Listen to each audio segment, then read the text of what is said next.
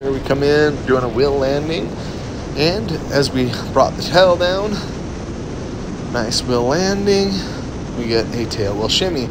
As we get the tail wheel shimmy, we're gonna go ahead and lift the tail back up, bring it back down slowly, oh, still tail wheel shimmy, relax the pressure, and then as soon as the tail wheel shimmy's gone, we're gonna go ahead and bring that pressure in and keep the tail wheel down. We need to make sure that we don't just force the tail wheel down, and hold it in the shimmy. We'll break the tail wheel every time if we try to do that.